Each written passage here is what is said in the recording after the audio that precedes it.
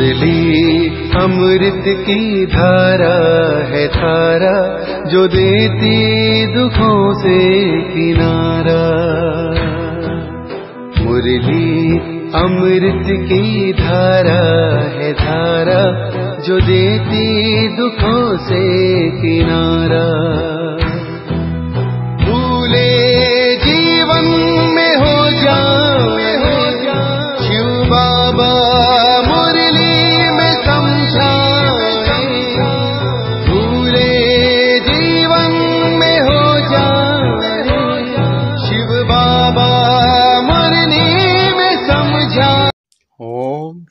शांति आज की तारीख है तेरह एक दो हज़ार तेईस की साकार मुरली। बाबा के महावाक्य मीठे बच्चे, यहाँ तुम्हें सुख दुख, मान अपमान सब सहन करना है। पुरानी दुनिया के सुखों से बुद्धि हटा देनी है, अपने मत पर नहीं चलना है। प्रश्न देवताई जन्म से भी, यह जन्म बहुत अच्छा है, कैसे? उत्तर इस जन्म में तुम बच्चे शिव बाबा के भंडारे से खाते हो। यहाँ तुम अच्छा कमाई करते हो। तुमने बाप की शरण ली है। इस जन्म में ही तुम अपना लोक परलोक सुखी करते हो। सुदामा मिसल दो मुट्ठी दे। इक्की जन्म की बादशाही लेते हो। गीत, चाहे पास हो, चाहे दूर हो। चाहे पास हो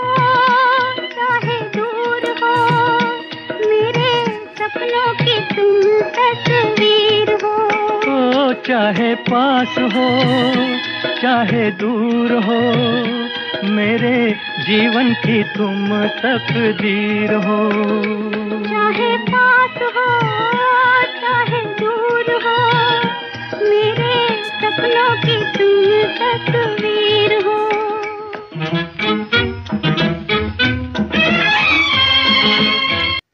ओम शांति। गीत का कितना अच्छा अर्थ है। बाप बैठ बच्चों को समझाते हैं, चाहे हम इस तन से नज़दीक हैं, वह दूर हैं, क्योंकि समुख योग की शिक्षा दे रहे हैं। प्रेरणा से तो नहीं देंगे ना। चाहे मैं नज़दीक हूँ, चाहे दूर हूँ, या तो मुझे ही करना है। भगवान के पास जाने के लिए ही तो भक्ति करते हैं। बाप बैठ समझाते हैं कि हे जीव की आत्माएँ, इस शरीर में निवास करने वाली आत्माएँ, आत्माओं से परमपिता परमात्मा बैठ बात करते हैं। परमात्मा को आत्माओं से मिलना है ज़रूर, इसलिए जीव आत्माएँ भगवान को याद करती हैं क्योंकि दुखी हैं। सतयुग में तो कोई याद नहीं करते। अभी तुम बच्चे जानते हो, हम बहुत पुराने भगत हैं। जब से हमको माया ने पकड़ा है, तब से भगवान की, शिव की याद शुरू हुई है, क्योंकि शिव बाबा ने हमको स्वर्ग का मालिक बनाया था तो उनका यादगार बनाकर भक्ति करते हैं। अब तुम जानते हो, बाम समुख आए हैं लेने के लिए, क्योंकि अब बाप के पास जाना है, जब तक यहाँ है तब तक। पुराने शरीर को, पुरानी दुनिया को बुद्धि से भूलना है और योग में रहना है तो इस योग अग्नि से पाप भस्म होंगे। इसमें मेहनत लगती है, पदवी तो ज़बरदस्त है। विश्व का मालिक बनना है। मनुष्य कहते हैं कि विश्व का मालिक तो शिव बाबा है, परंतु नहीं विश्व का मालिक मनुष्य ही बनते हैं। बाप बैठ बच्चों को बिशप का मालिक बनाते हैं। कहते हैं, तुम ही बिशप के मालिक थे, फिर चौरासी जन्म लेते लेते। अब कोड़ी के भी मालिक नहीं रहे हो। पहला नंबर जन्म और अभी का अंतिम जन्म देखो। कितना रात दिन का फ़र्क है। कोई को भी याद नहीं आ सकता। जब तक बाप आकर साक्षात्कार ना कराए, ज्ञान बुद्धि से भी साक्षात्कार होता है। जो सियाने बच्चे हैं, नित्य बाप को याद करते हैं उनको बहुत मज़ा आएगा। यहाँ तुम सब नई बातें सुनते हो, मनुष्य तो कुछ नहीं जानते हैं। वह तो गपोड़े लगाते रहते और दर दर धक्के खाते रहते हैं। तुमको तो भटकने से छुड़ाया जाता है। बाप कहते हैं, तुम आत्मा हो, मुझ बाप को याद करते रहो। बुद्धि में यही विचार रहे कि हम आत्माओं को बाबा के पास जाना है। यह सृष्टि जैसे हमारे लिए है नहीं। यह पुरानी सृष्टि तो खत्म हो जाएगी, फिर हम स्वर्ग में आकर नए महल बनाएँगे। दिन रात बुद्धि में यह चलना चाहिए। बाप अपना अनुभव सुनाते हैं। रात को सोता हूँ तो यही ख्यालात चलते हैं। यह नाटक अब पूरा होता है। यह पुराना चोला छोड़ना है। हाँ विकर्मों का बोझा बहुत है, इसलिए निरंतर बाबा को याद करना है। अपनी अवस्था को दर्पण में देखना है। हमारी बुद्धि सबसे हटी हुई है। धंधे आदि में रहते हुए भी बुद्धि से काम ले सकते हो। बाबा के ऊपर कितना ओना है, कितने ढेर बच्चे हैं उनों का ख्याल रखना पड़ता है। बच्चों को पनाह, यानी शरण देनी है।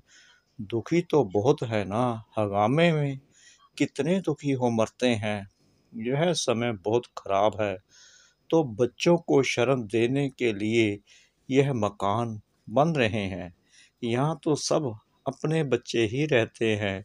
कोई डर नहीं और फिर योग बल भी रहता है। बच्चों ने साक्षात्कार भी किया है, जो बाप को अच्छी रीति याद करते हैं। तो बाप उन्हों की रक्षा भी करता है, दुश्मन को भयंकर रूप दिखाकर भगा देते हैं। तुमको जब तक शरीर है, तब तक योग में रहना है। नहीं तो सजाएँ खानी पड़ेगी।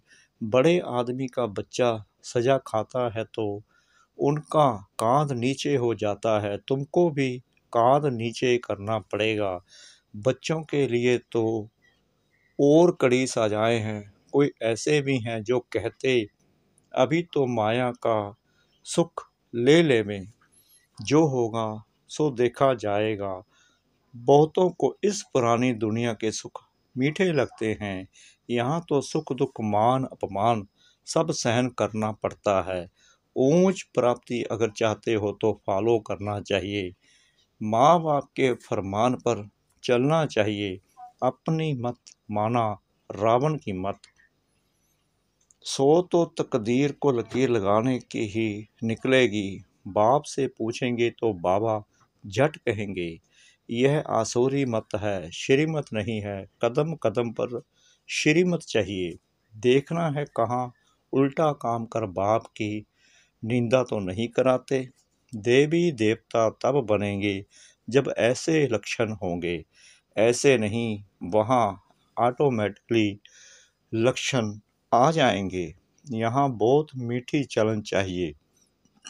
अगर समझो शिव बाबा ने नहीं, ब्रह्मा ने कहा तो भी रेस्पॉन्सिबल यह रहेगा ना।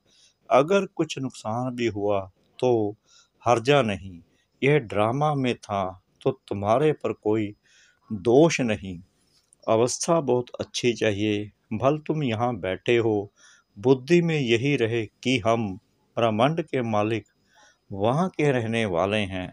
इस रीति घर में रहते, धंधा करते, उपराम होते जाएँगे। जैसे सन्यासी गृहस्थ से उपराम हो जाते हैं। तुम तो सारी पुरानी दुनिया से उपराम होते हो।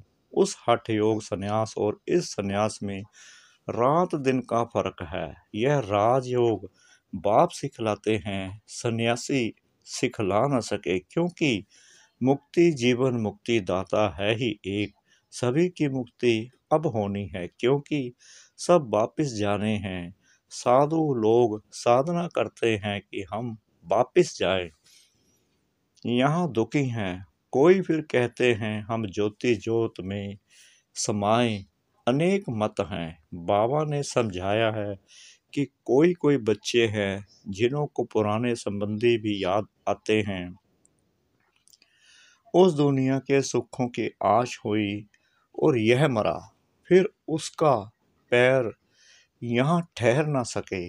माया बहुत लालच देती है, एक कहावत है, भगवान को याद करो, नहीं तो बाज आ जाएगा। यह माया भी बाज मिसल बार करती है। अब जबकि बाप आए हैं तो अभी भी पुरुषार्थ कर ऊंच पद नहीं पाया तो कल्प कल्पांतर भी नहीं पाएँगे। यहाँ बाप के पास तो तुमको कोई दुख नहीं है। तो पुराने दुख की दुनिया को भूलना चाहिए ना। सारे दिन का पोता मैल देखना चाहिए। कितना समय बाप को याद किया, किसको ये दान दिया, बाप ने तुमको भी ये दान दिया है ना।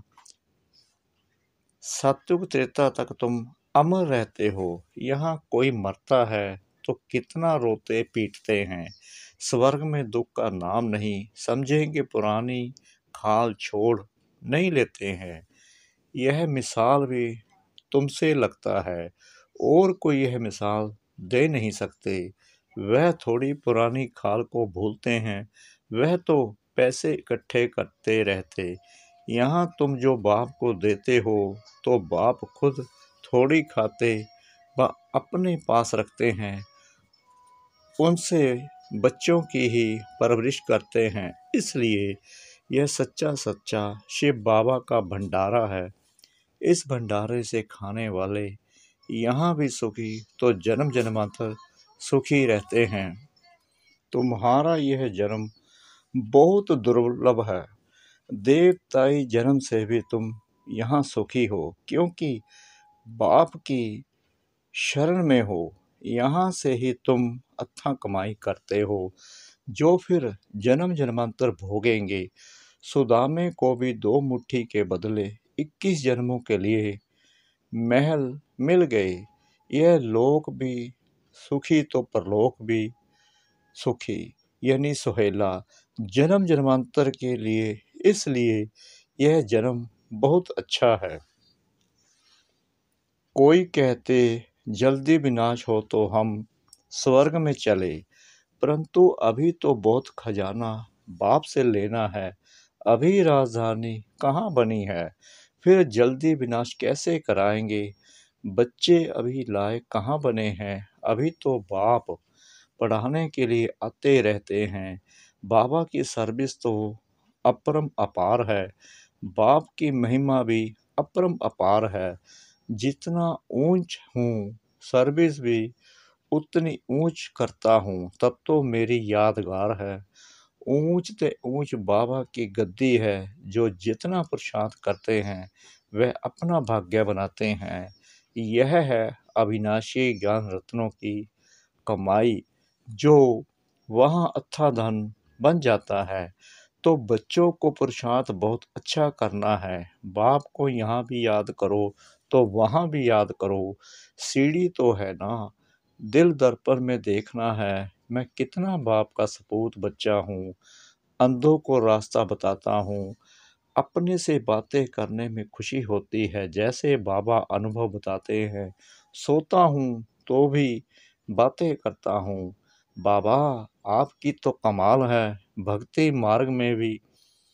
फिर हमको भूल ही जाएँगे इतना बरसा आपसे पाते हैं, फिर सतयुग में यह भूल जाएँगे, फिर भक्ति मार्ग में आपका यादगार बनाएँगे, परंतु आपका ऑक्यूपेशन बिल्कुल भूल जाते हैं, जैसे बुद्धू अज्ञानी बन जाते हैं। अब बाप ने कितना ज्ञानी बनाया है, रात दिन का फ़र्क है। ईश्वर सर्वव्यापी है, यह कोई ज्ञान थोड़ी है। ज्ञान तो सृष्टि चक्कर का चाहिए। अब हम चौरासी का चक्कर पूरा कर वापिस जाते हैं। फिर हमको जीवन मुक्ति में आना है। ड्रामा से बाहर थोड़े ही निकल सकते हैं। हम हैं ही जीवन मुक्ति के राही। अच्छा मीठे मीठे सिखला दे बच्चों प्रति। मात पिता बाप दादा का याद, प्यार और गुड मॉर्निंग। रूहानी बाप के रूहानी बच्चों को नमस्ते। हम रूहानी बच्चों की रूहानी बाप दादा को श्रद्धा भरी, प्रेम भरी नमस्ते। शुक्रिया बाबा शुक्रिया बाबा शुक्रिया बाबा इस मीठी मीठी मीठी मुरली के लिए।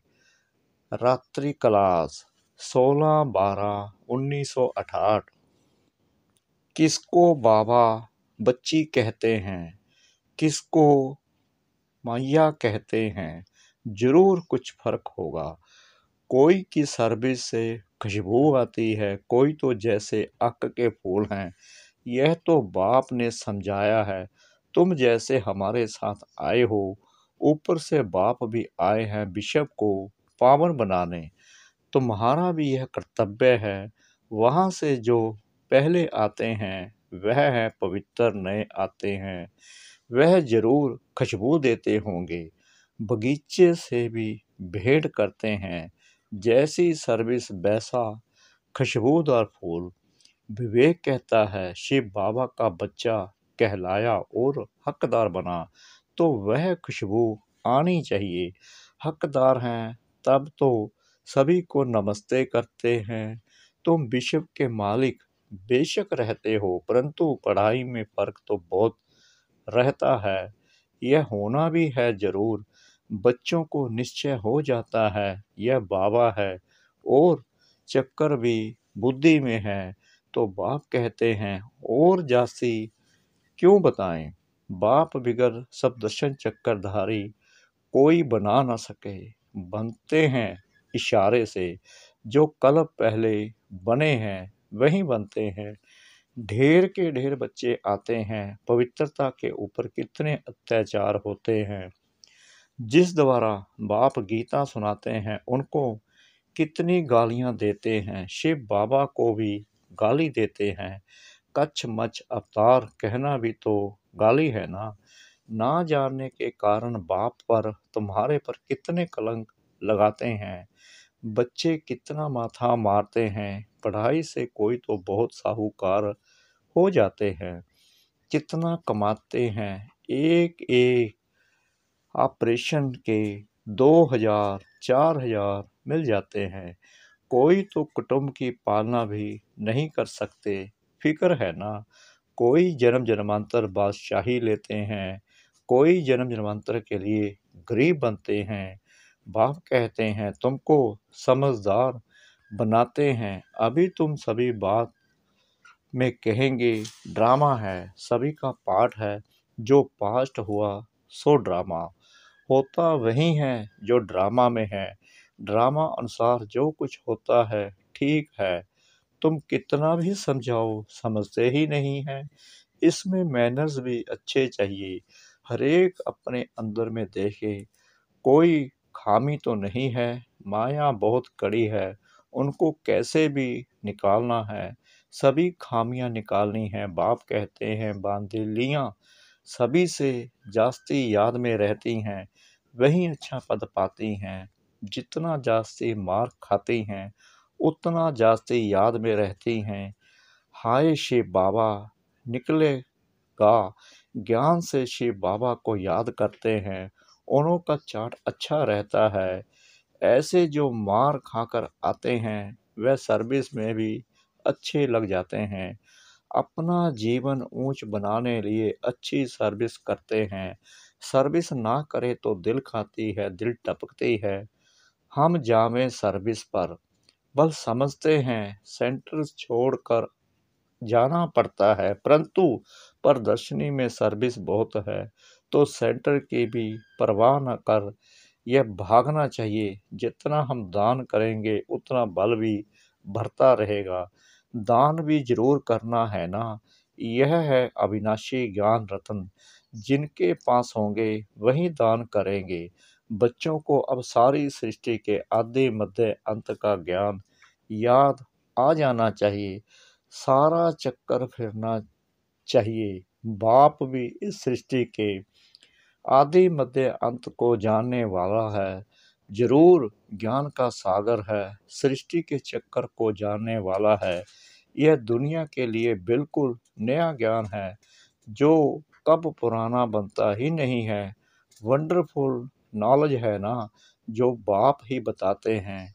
कोई कितना भी साधु महात्मा हो, सीढ़ी चढ़कर ऊपर तो जाता ही नहीं।